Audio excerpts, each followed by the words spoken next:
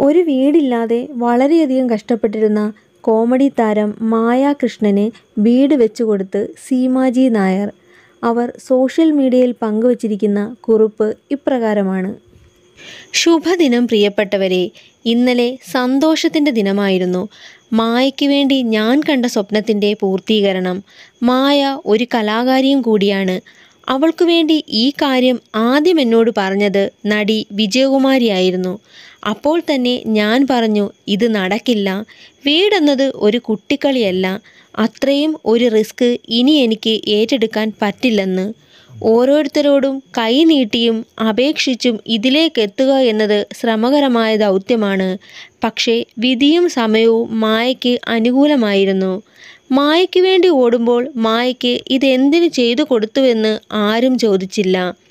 പക്ഷേ അവളെ അറിയാവുന്ന എല്ലാവരും പറഞ്ഞത് അവൾ ഇത് അർഹിക്കുന്നുവെന്നാണ് ഇന്നലെ കോരി ചൊരിയുന്ന മഴയത്തും എത്തിയ ഓരോരുത്തരെയും പ്രത്യേകിച്ച് കലാകാരെ കണ്ടപ്പോൾ എന്റെ ശ്രമം പാഴായില്ലെന്ന് മനസ്സിലായി.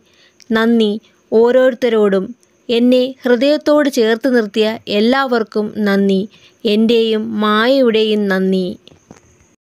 ഈ ഒരു കുറിപ്പിന് നന്ദി രേഖപ്പെടുത്തിക്കൊണ്ട് മായ സോഷ്യൽ മീഡിയയെ കുറിച്ചത് ഇപ്രകാരമായിരുന്നു. സീമ ചേച്ചി ചേച്ചിക്ക് തിരിച്ചു തരാൻ എന്റെ കയ്യിൽ ഒന്നുമില്ല. എന്നും നന്മകൾ ഉണ്ടാവട്ടെ.